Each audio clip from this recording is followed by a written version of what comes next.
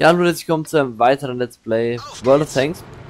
Und zwar heute mit dem E75 hier, Tier 9er Match, mit, ja, auf beiden Seiten, ne, auf unserer Seite haben wir sogar mehr. Wir haben, die Gegner hat nur gerade mal 5 Tier 9er und wir haben, ja, ich glaube das sind 7, wenn ich mich jetzt nicht irre. Ja. Und, ja, also, dieses Match ist ganz lustig. Wir haben natürlich die 128 mm montiert, ne? Wie gesagt, steht ja auch nochmal da links. Natürlich habe ich jetzt schon den E75 vollkommen ausgerüstet, äh, mit jeglichen Extras und so weiter und so fort. Wir haben 10% schnellere Nachladezeit, äh, 5% zu allen Cruise Skills hinzu. Und was war das dritte? Das dritte war glaube ich nochmal mehr mit... Uh, äh, genau, Vertical Stabilizer, das heißt ähm, 20% Genauigkeit während der Fahrt und Turmdrehung. Ja, also wir starten schon mal mit einem Spot mit dem VK 2801. Also wir wissen schon mal, die Gegner hat so und so ein paar Spotter. Aber erstmal unbeeindruckt natürlich. E50 Spot. Der ist aber gecheckt hat, dass wir ihn gespottet haben und der fährt zurück. Ja, deswegen können wir uns das abschminken.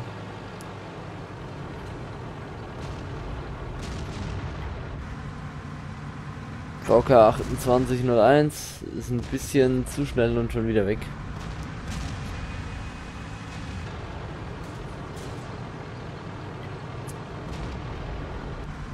Ich muss nur hier aufpassen auf der freien Platte natürlich immer, dass man, also weil man ja hier auch so oben steht, nicht von rechts getroffen worden. Ja, genau. Das war eine Loa.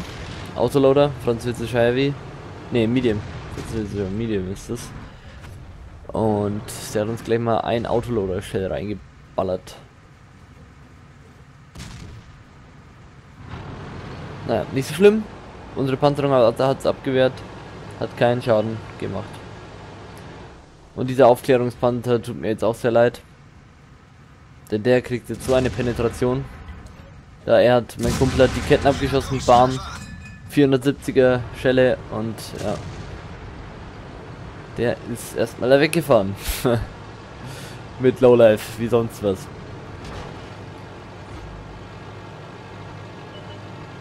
So, weiter geht's. Wir rücken mal vor, ne? Hier ist 8. Nicht durchgegangen. Jetzt holen wir uns ihn. Der ging durch 431er Schaden. Ja, immerhin. Ich versuche natürlich jetzt meine Arme, also meine Panzerung so zu, zu mich so zu hinzustellen, dass natürlich ich nicht gehittet werde. Und da haben wir die Lore 40T erwischt. Und sie ist Fuji, sie hat uns nochmal versucht zu erwischen, aber hat daneben geschossen.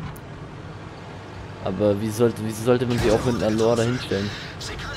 Ah, SCA 1, der nicht gespottet ist, ganz wichtig. Jetzt steht da nur noch der IS-8, der einzige Spot. Und sonst habe ich noch auf der Karte einen IS-3 und einen E50 angezeigt. Und das war ein Schuss daneben, aber immerhin, die Teammates haben ihn geholt.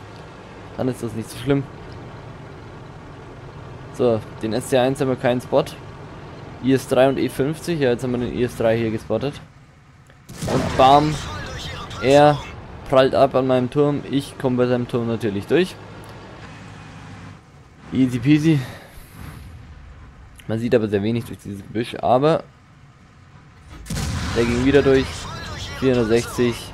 Mal wieder. Und jetzt schon in den ersten 4 Minuten 2617 Schaden gemacht. So, weiter geht's. Da ist er wieder, der IS-3. Jetzt haut er ab. Bisschen Sicht drauf. Zack, wieder eine Stelle. 506. Jetzt eine krasse Stelle war das. Mit 490 Alpha Damage eine 506er. Immerhin. Autsch, jetzt hat er uns nochmal was gegeben, aber dafür musste er dran glauben. So, jetzt wurden von rechts Ketten abgeschossen vom STR1, der nicht gespottet ist. Der uns jetzt nochmal eine reinhaut und immer noch nicht gespottet ist. Und bevor der uns noch eine reinhaut, habe ich entschieden, die Ketten mit meinen, ja, Ersatzteilkiste zu reparieren, was natürlich kostet, ne, 3000. Aber ich denke mir, ja okay, dann waste ich halt das dafür, anstatt dass ich damit noch im Schlachtfeld draufgehe, weil dieser STR1 eine gute Nachladezeit hat. Ich weiß gar nicht, ob der einen Autoloader hat, aber ich denke einfach, der hat eine gute Gun mit einem guten Autoloader. Nicht so viel Durchschlag. Jetzt hat mein Autola automatische Feuerlöscher getroffen. Bam, wir haben ihm die Kette abgeschossen. Jetzt hat er unsere rechte Kette beschädigt, aber unsere Panzerung, da geht es natürlich nicht durch. Bam, eine Kette von uns ist futsch.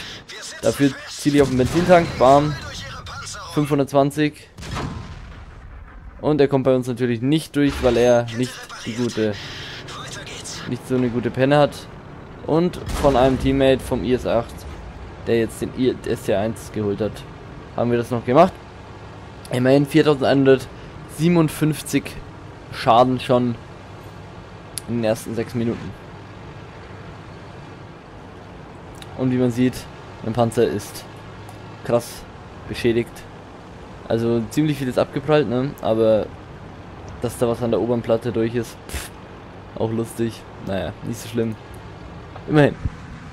Schauen wir mal, wer uns jetzt noch übrig bleibt. Der WT auf Panzer 4 steht da hinten, ne? aber der...